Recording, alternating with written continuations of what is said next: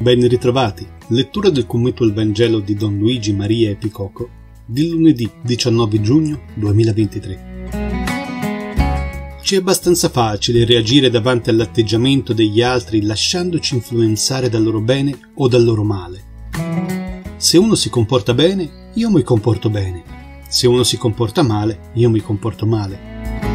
Ma la domanda vera non riguarda le nostre reazioni, bensì la nostra identità chi sono io al di là di ciò che gli altri tirano fuori da me?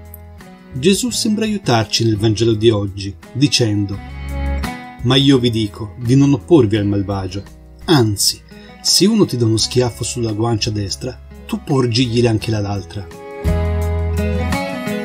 Porgere l'altra guancia non è un segno di debolezza, ma di liberazione. Solo chi ha il coraggio di non reagire, ma di fare esattamente il contrario, può dirsi davvero libero. Libero è non chi ha innanzitutto la forza di difendersi, ma chi nonostante abbia la forza di difendersi decide di attuare una politica totalmente diversa. Il male lo si sconfigge sbaragliandolo. Porgere l'altra guancia è un atto straordinariamente imprevedibile.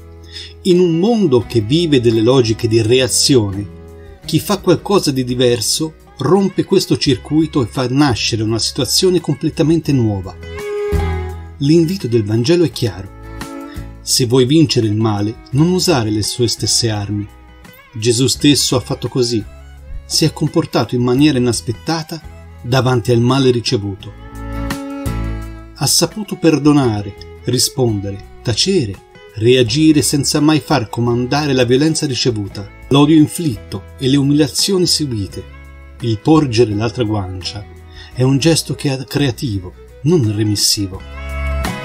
Sta sempre scritto, da a chi ti chiede e a chi desidera da te un prestito non voltare le spalle.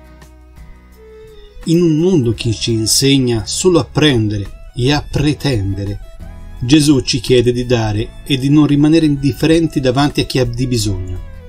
Infatti la cosa peggiore per un uomo è vedersi girare le spalle.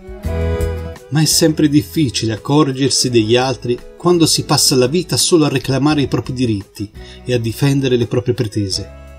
Il Vangelo ci dice che quello che vorremmo avere dobbiamo essere disposti a darlo noi stessi, per primi. Buona giornata e che Dio sia con tutti voi.